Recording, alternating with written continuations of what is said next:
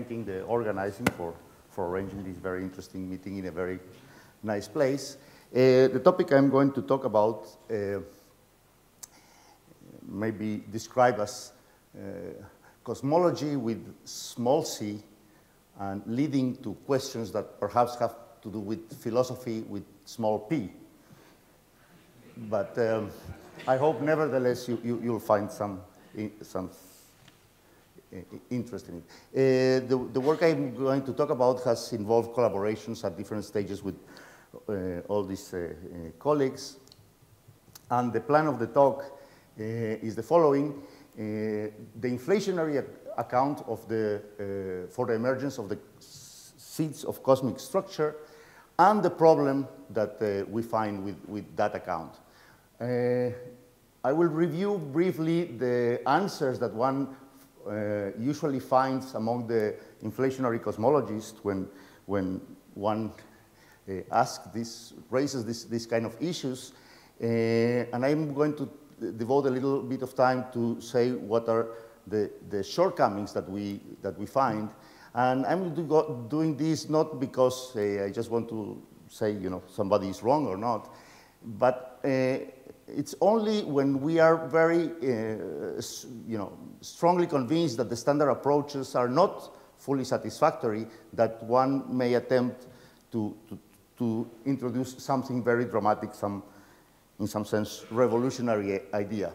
Uh, our, our approach will be uh, to introduce something that uh, perhaps uh, in this audience should not be uh, considered such a revolutionary idea because it has an old it has some long history, and these are uh, the theories developed, some of the approaches developed to address the measurement problem, and they go by the name of spontaneous collapse theories. I will then uh, briefly describe one of these uh, uh, theories called uh, continuous spontaneous localization and show uh, how one can adapt such theory to the, the, situation at hand, and in particular to quantum field theory, which is part of this, what's required to treat the, this issue uh, in, in, the inflationary context. Uh, and finally, to say that comparing with observations can, can uh, teach us something about this endeavor. So, as you all know here, contemporary cosmology uh, uh, involves an inflationary uh, era as, as one of its central components. and it was motivated by various, various issues, but nowadays the most spectacular claim that it has is its claim to account for the seeds of cosmic structure and the correct prediction of the spectrum. The starting point of this uh, analysis is the idea that after uh, inflation starts, after a few e-folds of inflation, the spacetime will be described very closely by a Robertson, uh, flat Robertson-Walker uh, spacetime, inflating under the influence of a, a, scalar field that is excited only in the zero mode, in the homogeneous mode, and that leads to an almost de Sitter uh, expansion. And on top of this background, one considers perturbations uh, both of the scalar field and of the metric, and uh, argues that this, per, this perturbation, oh, okay, quantizes these per perturbations, argues that, this, that the natural state for these perturbations should be something like the uh, uh, Bunch-Davies vacuum, and from this, uh, and from this analysis, one obtains this primordial inhomogeneities in terms of the quantum fluctuations of the fields in this particular state. So we, we all know that this, uh, that this story uh, fits spectacularly, spectacularly well with the, with the data, and, uh, and that, uh, that's the, the big claim to success of, of, of the inflationary component of, of, of, our understanding of, cosmology. Uh, the oscillations here have to do, of course, with late time physics associated with plasma oscillations. These are well understood, and I will ignore them from now on. I will concentrate on the uh, uh, uh seeds that are supposed to emerge from inflation for which the spectrum should be basically flat in this, in this uh, diagram.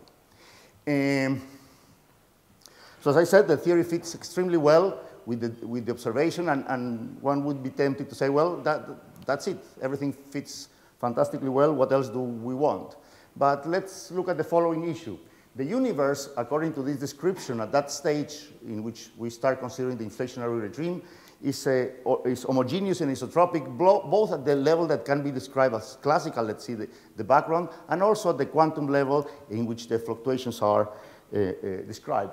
Uh, so except for remnants that one may uh, imagine uh, uh, surviving the inflationary stage, which should be suppressed by a, by a, um, ex, by, by a very small, oh, sorry, suppressed by a very large number, associated with the number of e-folds uh, that I will also ignore from now, the universe is completely homogeneous and isotropic. The quantum state, even though it contains fluctuations, is perfectly homogeneous and isotropic, as can be easily uh, checked. So we end up, nevertheless, for example, already at the stage of the, of the uh, of the last scattering surface from, where, from which the CMB uh, is emitted, uh, with a universe that contains inhomogeneities, uh, and those inhomogeneities are supposed to grow as, as, as uh, we, we saw in the, in the simulations Uh, on Saturday, uh, into the galaxies and, and, and, stars and things that, uh, that allow our own existence to emerge. And I, we, we would like to understand how does something like that happen? How does the symmetry, homogeneity, and isotropy break, given that the dynamics uh, preserves the, the, symmetry, and given that I don't want to bring into account, we don't want to involve the observer in, as playing any role in the early, uh, in, in, the early inflationary time where, where of course, not, not, no such observer can be involved. Uh, this problem is, is, similar to a problem considered by, by Mott in 1929 uh, uh, concerning the alpha nuclear decay uh, of a particle, which, which uh, you know, a, consider a J equals zero nucleus decaying, which we know produces in our uh, theory a spherical wave that expands, characterizing the, the alpha decay, and nevertheless leaves straight lines in the in the bubble chamber, uh, I thank Bob Wald for pointing me to this problem many years ago. Um, and uh, of course, the problem is connected uh, with the measurement problem, but here uh, in the cosmological situation, it takes an aggravated form. So uh, Mott believed that he solved the problem, but the issue is what exactly did he solve? So for that, I, we consider something we call the simplified model, a mini-Mott, minimal version of, of Mott problem, which I want uh, to, to use as a test ground for whatever idea one may have of resolving the problem at hand. It's another situation in which we have a symmetry. It's a situation that is very, very simple to solve all the, you know, one could solve Schrodinger's equation in, in, in, precisely.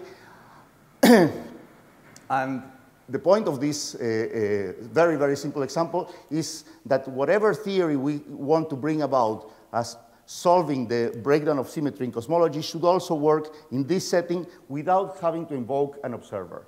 So the setting is a very simple one, a wave functions, a, a wave packet describing a single free particle, uh, center at x equals zero, and let's say symmetric in the, with respect to, to space, spatial inversion, and a bunch, a, a couple of detectors, very simple uh, uh, detectors, located at a distance d from the, from, this, from the origin, one to the right, one to the left. Each one of the detectors has a very simple Hamiltonian, and each one of the detectors interacts with the particle through a very simple interaction. And it's very simple then that to, to, solve the, the uh, Schrodinger equation with the initial data telling me what that initial wave packet was, I, what I said was it was, and the two detectors were initially uh, unexcited, one can easily uh, find out that after a certain time, uh, this, the system will be described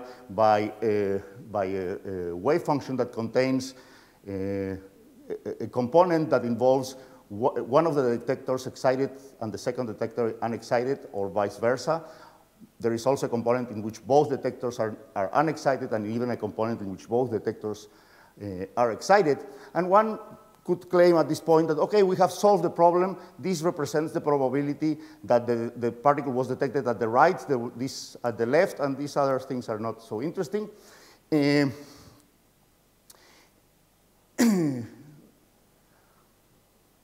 so in some sense, we are using a kind of Copenhagen interpretation when we, when, when we go this quickly ab ab about this problem, and we say, well, the problem is solved. What, what, what else do you want? And my point is that uh, we, don't, we shouldn't be so happy because it's obviously very easy to describe the same system in a different basis that is in particularly amenable to symmetric description, the basis in which the detector, uh, both detectors are excited, one, uh, one in which the, both detectors are unexcited, one symmetric combination of the excitation in the two sides and one antisymmetric uh, combination for the detection of the both, both sides and describe everything in this language. And in this language, I will not be able to understand how the symmetry was broken. I will, the, the, it's very easy to see that the, that the uh, symmetry of the, of, the, of the dynamics and of the initial state uh, will ensure that the, the, the fully asymmetric state is not excited, and then I will have no account for the breakdown of the symmetry. Nevertheless, we know that in some sense the other basis is the right one, but we don't know why. So in a laboratory, of course, we, uh, a, a, physicist in the lab faces no, no, no, no problem. He knows that he never perceives the, the detectors in a superposition, and then he knows that he should account for things in the first basis, and he, he goes happily uh, uh, home after, after seeing that his experiments fit with his predictions. Uh, however, in the universe, we cannot account for, for, for any of these uh, uh, things. We, cannot, we, we don't want to use the, the, the, observer and his experience with, with detectors to explain the breakdown of, of symmetry. Uh, actually, the, the, the, experimentalist cannot explain that. He just knows that, that this is the correct way to proceed, but he, he doesn't have a theory to explain uh, uh, things. So the question is then, should be uh, uh, phrased by saying, why should we believe the conclusions that are obtained with one of the contexts and not uh, with the second? The usual answers that uh, one finds in this regard is, well, this is the standard problem of quantum mechanics, and let's remember that we just make measurements. But even ignoring the issues with the measurement problem in general, uh, this would be saying that, uh, that in some sense our actions today are what make possible the breakdown of the symmetry in the very early times of the universe, and that generated the galaxies and stars that makes us possible. This is a very uncomfortable uh, uh, situation from, the, from, from any kind of conceptual point of view. Uh, then there are uh, uh, other arguments that are based in decoherence type of analysis and many world interpretations. And this point of view also has, from, my point of, from our point of view, of a, a, a problematic account. One, uh, to start this kind of analysis, one needs first to, to select some degrees of freedom that one decides to called environment and then trace over, over these uh, degrees of freedom. The first problem is that in, in doing so, the selection arguments for, for discarding certain degrees of freedom involve our inabilities to measure them. So again, we are using our presence here as part of the, of the uh, analysis. So perhaps using uh, James Hartle characterization, what I'm uh, saying is that we need, we require a third person description and account of how the symmetry was broken that therefore does not involve us. After all, you know, if I ask you, you know, what happened to the dinosaurs and, uh, and you tell me, well, the, the, dinosaurs went extinct, and I ask you, well, why did they, get, why did they go extinct? And, and, and we say, well, uh, they, they go extinct because we are here, and we wouldn't be here if they didn't go extinct. That is not a very satisfactory answer. We prefer an answer in which there was a meteorite that came down and destroyed the dinosaurs, and we happen to be a result of the fact that they disappeared and made the Earth hospitable for beings, weak, weakly beings like ourselves. Uh, Moreover, uh, even if one traces over, over certain degrees of freedom and obtains uh, diagonal metrics, of course there is a problem in, uh, in the interpretation of the coherent metrics as indicating that the situation is now described by one of the elements of the diagonal. This is a well uh, understood problem uh, that even decoherent proponents acknowledge.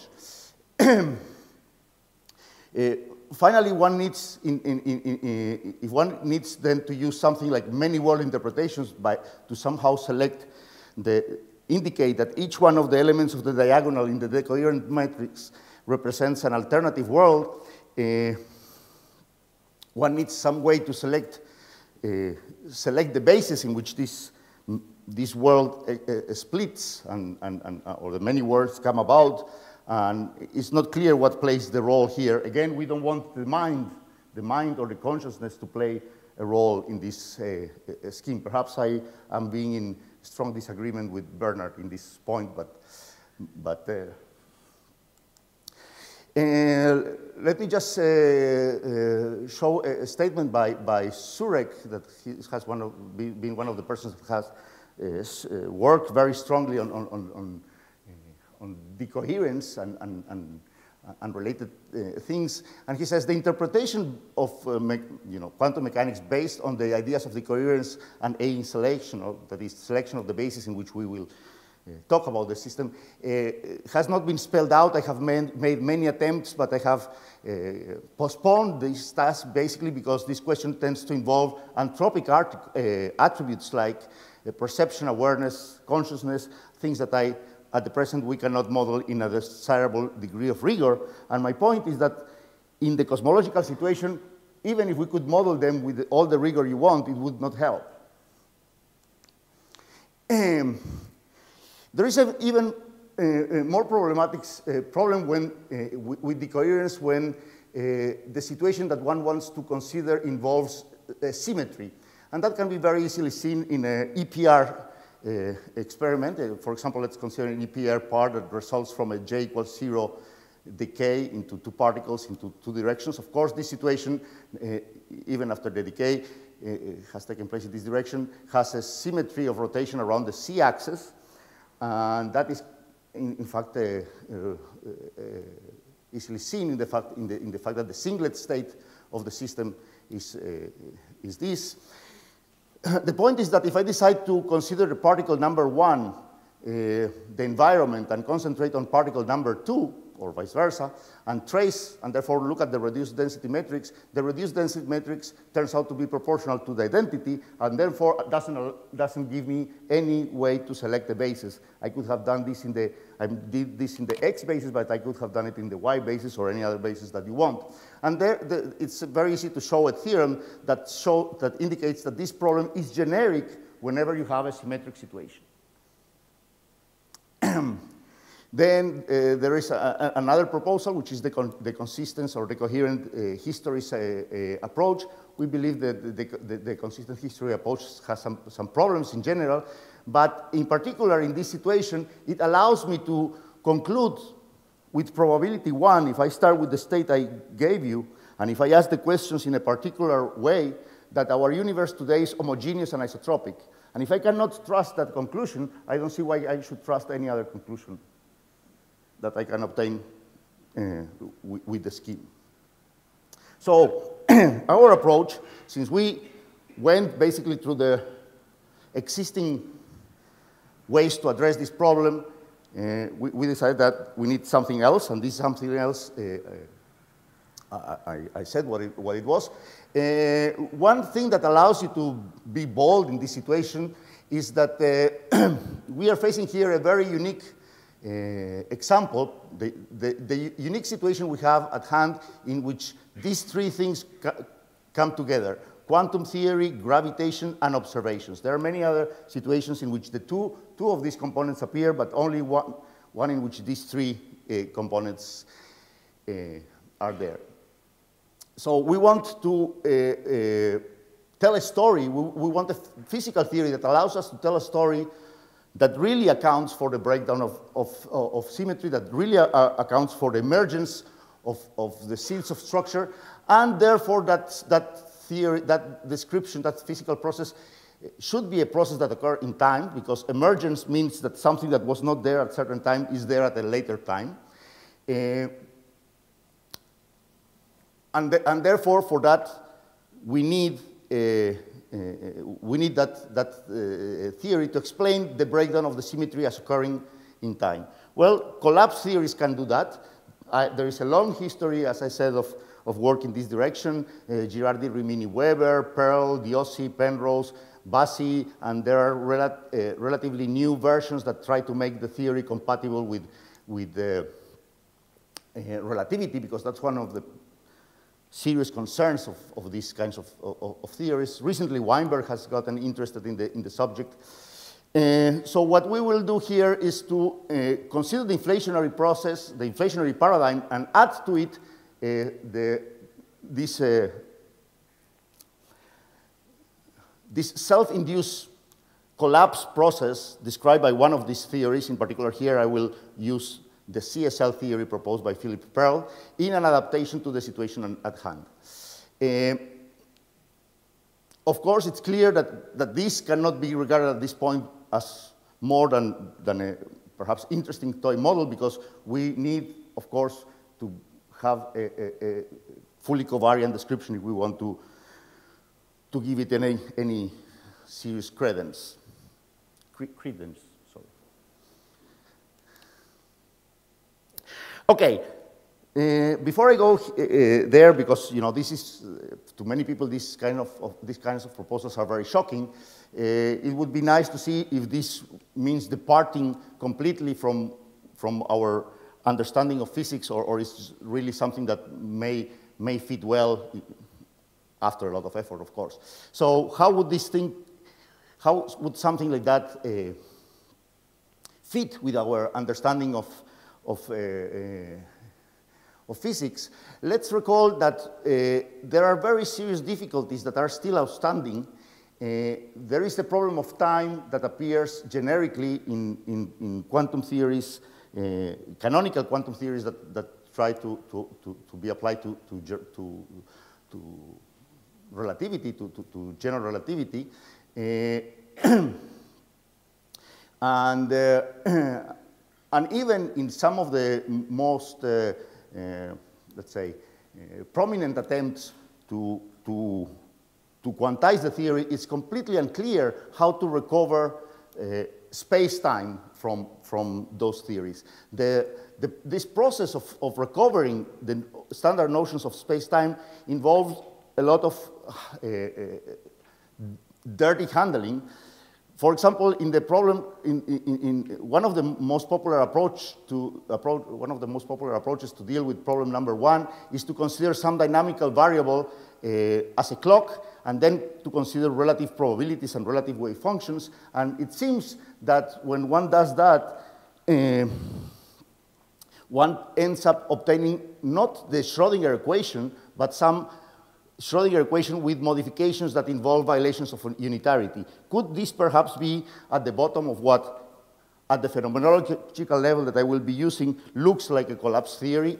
That is, will collapse be part of the description of nature once we recover time from a timeless theory in, in, in such a setting? Uh, second, uh, in general, recovering space-time, even space-time from from the theories uh, is not easy. There are even many suggestions that, that uh, uh, space-time may be an emergent phenomena and that the description of space-time may have to be done in terms of degrees of freedom that have no connection with the, our standard notions of space and time. And in that sense, we could think of an hydrodynamical analogy. Analogy. So in this uh, language, one, one could imagine that GR is like the theory of Navier-Stokes equation, and therefore I will not imagine that the theory holds perfectly 100% all the times. For example, like I know that the, the hydrodynamic description of a fluid will break down whenever there are cusps or waves breaking or things of that sort in which flux of energy will occur between the macroscopic and microscopic degrees of freedom.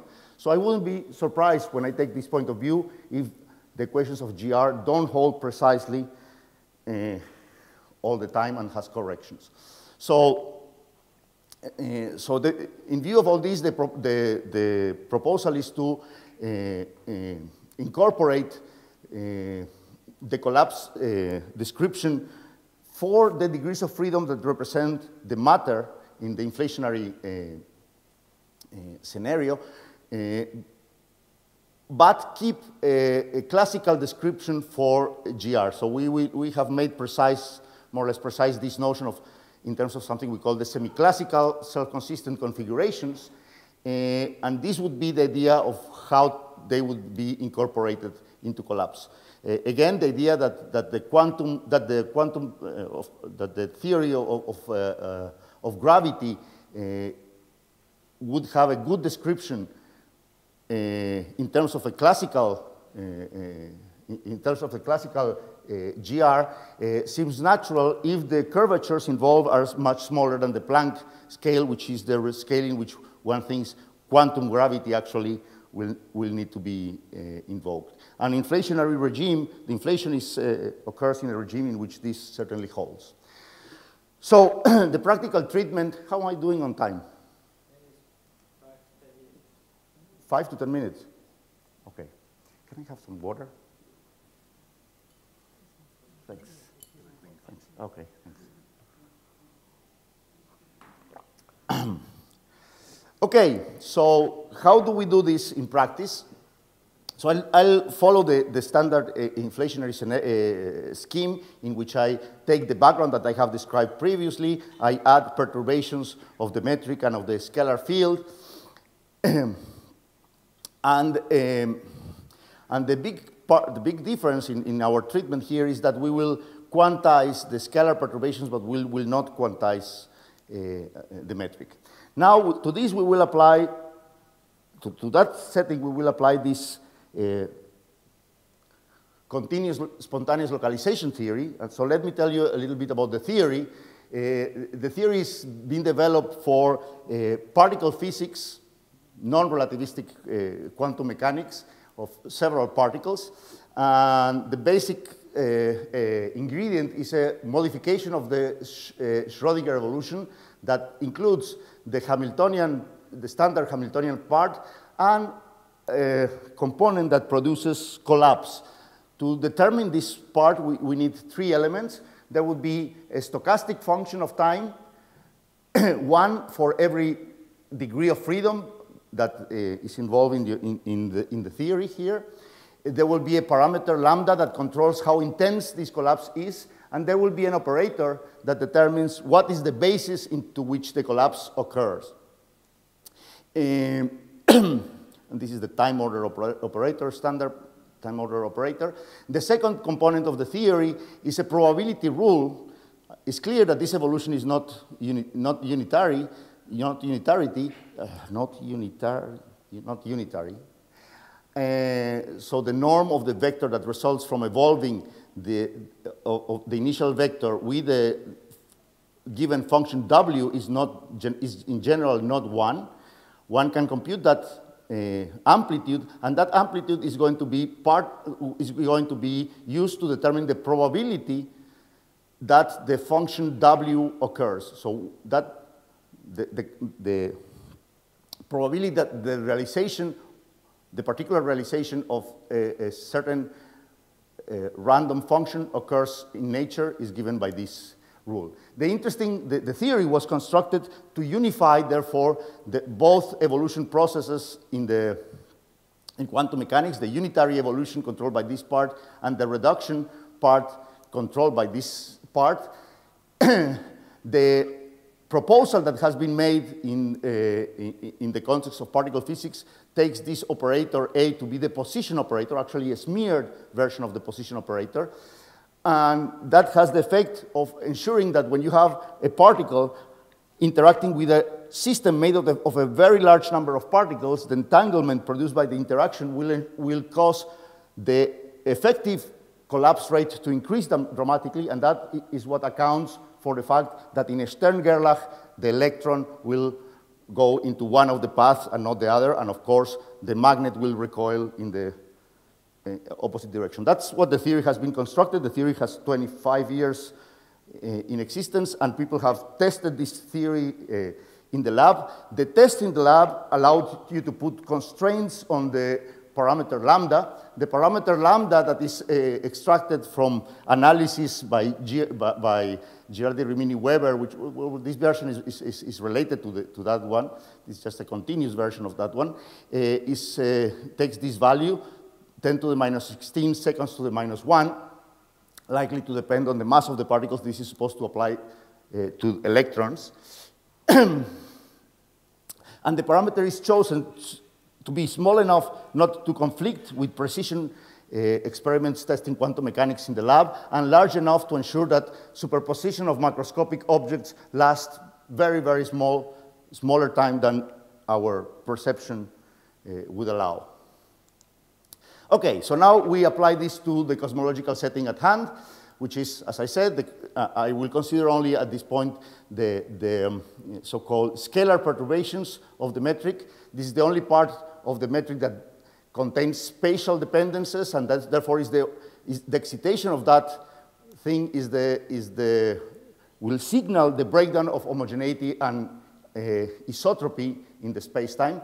And we will use Einstein's semi-classical equations, and the state here will be the state that is evolving from the Bunch-Davies vacuum uh, in time, but using these collapse dynamics because if we don't use this collapse dynamics, the state will not break the symmetry and nothing will be produced. This can be seen very uh, easily in the following uh, case.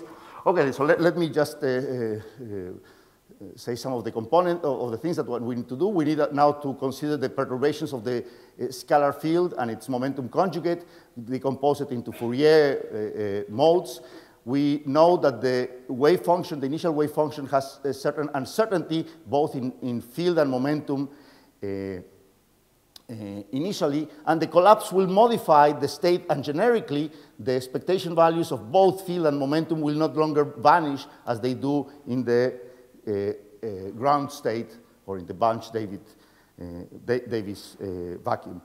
Um, so how that, if, if I now substitute into the uh, Einstein semi-classical equations, the perturbation that I, that I have just described, this equation, which is basically the analogous of Newton's equation, tells me what is the uh, scalar perturbation in mode k in terms of the expectation value of the momentum conjugate to the field in the corresponding state that I have.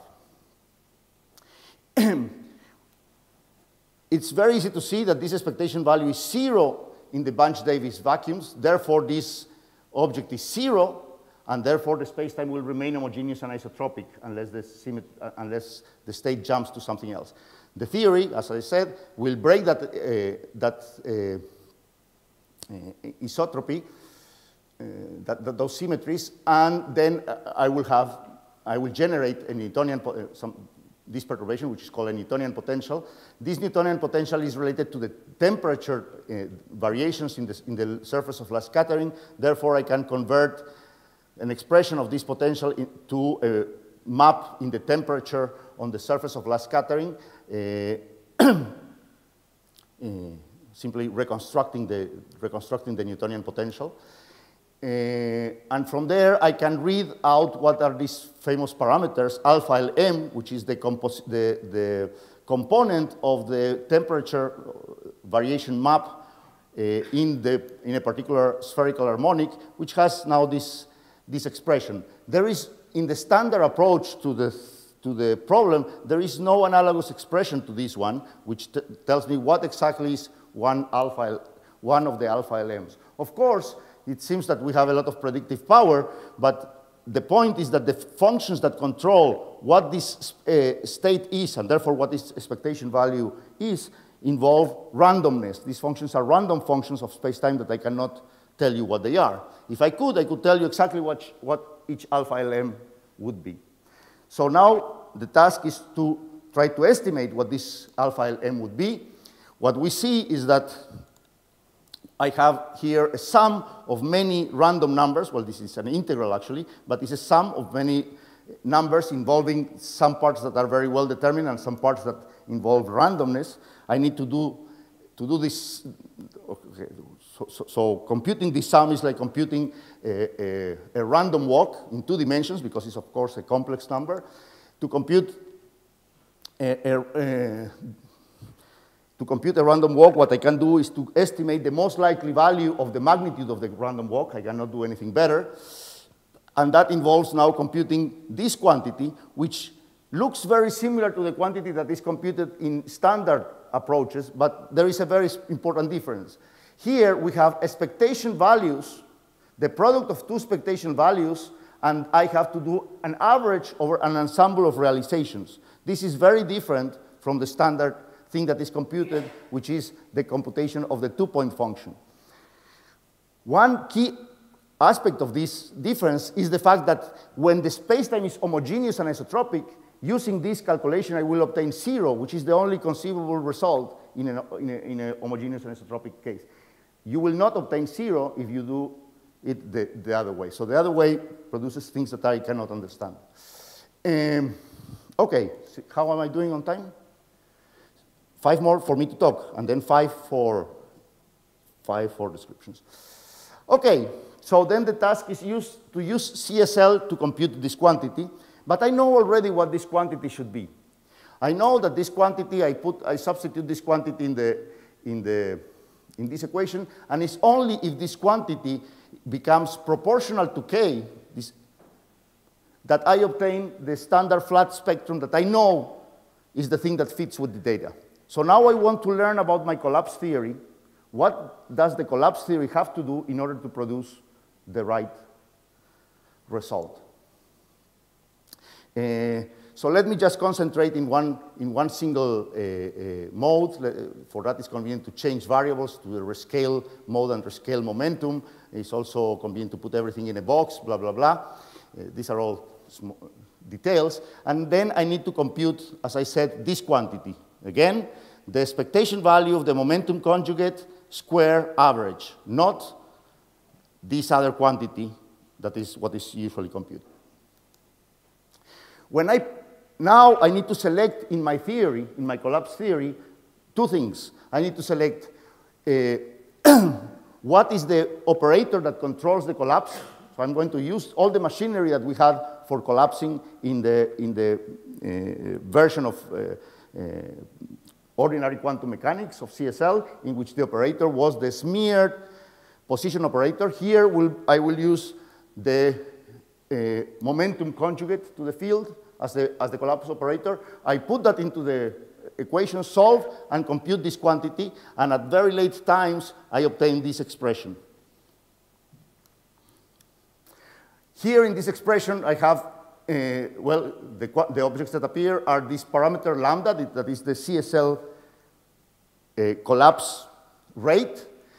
K is the wave vector of the, that I'm looking at, the wave number of the, of, or yeah, the, the, magnitude of the wave vector I'm, I'm, looking at, and t is the time, the conformal time uh, from the moment in which the uh, inflation starts until the moment I'm computing the, this, this quantity, which is, let's say, at the end of inflation. As you see, the expression that one obtains first of all, vanishes if lambda is zero. If I turn off the collapse rate, the, there is nothing, and the space-time remains homogeneous and isotropic. I turn on lambda, and now I obtain something that is not exactly what I would like. Therefore, for this theory to have a chance to work, I need to assume that lambda is now a function of k. Otherwise, I can throw the theory into the garbage. So let me assume that the, that the lambda has become a function of k by making this substitution. I, I will now uh, uh, explain why, why how, how can this, this make sense. If lambda becomes a, a, a, a, function of k and actually now becomes, has the correct dimensions, dimension of time to the minus 1, which is the same dimension that it had in the, in the particle case, I substitute, and, I, and again, I get a spectrum that is proportional to k, but is not exactly proportional to k, has corrections. So generically, one thing we have found with various attempts to use this idea in various collapse schemes is that you don't obtain generically the exact flat spectrum. You, you obtain corrections. For this case, when I fit this as the dominant term, I, use, I use grand unification scale for inflation, and I use standard values for the duration of inflation, I can obtain the value of this parameter. The value that I obtain, one obtains for asking this to, to produce the 10 to the minus 5 fluctuations that we see in the sky, requires this parameter to be of the order uh, of 10 to the minus 19 seconds to the minus 1. That, the first thing to note is that this number is not very far. It's just three orders of magnitude. Well, it could, three orders. It's just, just three orders of magnitude from an estimate that was also very rough given by Ghirardi, Rimini, Weber of what should be the value of the parameter in the lab. But that we should take with, with a grain of salt because, of course, this theory, have, I have bluntly taken the theory from the particle physics domain to the field theory domain, and, and, uh, uh, uh, and we don't really know how to, how to do that. Uh, the second thing is that there will be corrections, and it turns out that for the, these numbers, these values of the corrections, the, the uh, corrections will be larger in the regions of small k, which is the regions in which, fortunately or unfortunately, the, the uh, CMB is, is uh, less well determined, let's say. Uh, but even there, uh, the estimates using these numbers suggest that the corrections will be 10 to the minus 5, 10 to the minus 6. So it's not uh, easy to see, but will, they, they, are there. There is a signature of the theory. Uh, of course, the theory looked very, very ugly at the, at, uh, in the moment, but let's remember, let's remember that when I apply the theory, I should here have a sum, I'm applying it now to all the modes, so I should have here sum over all modes of these objects, one, wave, one function of time for each mode, and one operator for each mode. So I can rewrite everything in terms of the, of the field, doing the inverse Fourier transform, rewrite everything in terms of the field, and now the, the, the equation uh, turns out to take this form, which is not so ugly. It's the Hamiltonian of uh, the evolution of the Hamiltonian. Here's the full-fledged uh, uh, Hamiltonian for the, for the uh, inflaton field. And here we have something that is written in terms of the inflaton of, of a random function of space-time. So a collection of, well, a, a random function of space and time, which is constructed by inverse Fourier transforming the, the other Fourier, uh, the other Fourier, the other random functions that were functions of time and wave number only, uh, and something that looks like the field, uh, but it's not exactly the field. It has this, this strange object, uh, Laplacian to the 1, 4, 0.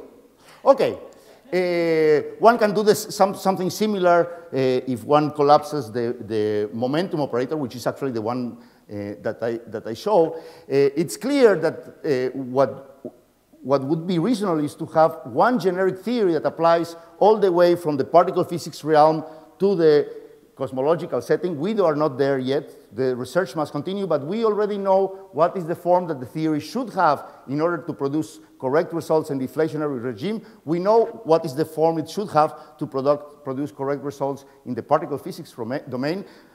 And of course, the research uh, must continue. Thank you very much.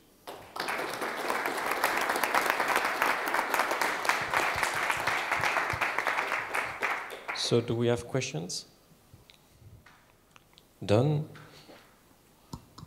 At one point, I didn't quite see it, but you had this, this semi-classical Einstein equation. You said there was something subtle there. Is it, I mean, isn't that true? Because your, your, your wave function is not evolving unitarily. So this T mu nu may not be covariantly conserved. That's right. So what, what do you do in the end to, because of course the Einstein equation is just geometrically the Bézier-Bianchi unit. So how do you, how do you set it? Okay, you, so you say, the, the point of view is that the equation, what we have resolved in that, in, in that setting is what to do with when a collapse occurs and there is one single collapse. So what we have done is the following. Ima imagine that this collapse in, uh, uh, represents some breakdown of the description of space-time in terms of geometrical objects, and that, and that in, the in this interface, this collapse moment, the microscopic degrees of freedom come into play, like if you had a wave breaking. And microscopic degrees.